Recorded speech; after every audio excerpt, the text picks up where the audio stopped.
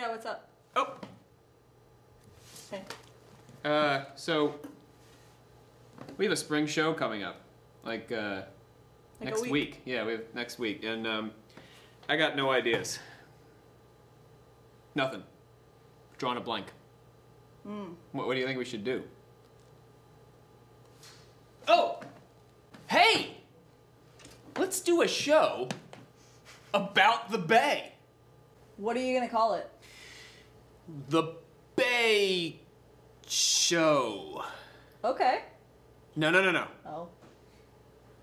True Tales of the Eastern Shore. Hmm. So, what are you gonna write it about? So Dr. Thompson typed away as the Peake Players gave idea after idea. The daring triumphs of Harriet Tubman, the life of Frederick Douglass, the self isolation of Gilbert Byron, and other tales that will help make up the history of the Eastern Shore. Come see the show. And what else you gonna do? Watch Netflix again?